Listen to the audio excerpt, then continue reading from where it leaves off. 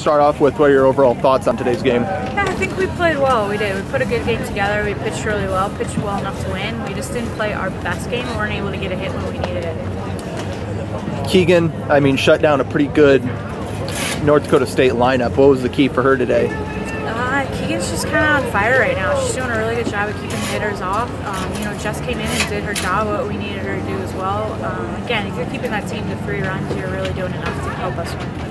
As far as getting the offense going again, uh, what are you guys going to have to do going forward? We just need to be patient. Uh, I think we're swinging at good enough pitches rather than our pitch, and we're not swinging according to the count or the inning or whatnot. We're just we're almost too aggressive right now. Pitching performance today, I mean, shutting down a team like North Dakota State, what was the key for you out there today? Um, I think knowing that they're strong through their lineup one through nine, um, you just have to make sure that you don't let up on any hitter. Um, other than that, I mean, our defense did pretty well, especially the outfield. Um, they did a good job fielding balls and coming in for those um, awkward, you know, high fly balls. So they did a good job too. So um, defensively, I think we did a well, good job today.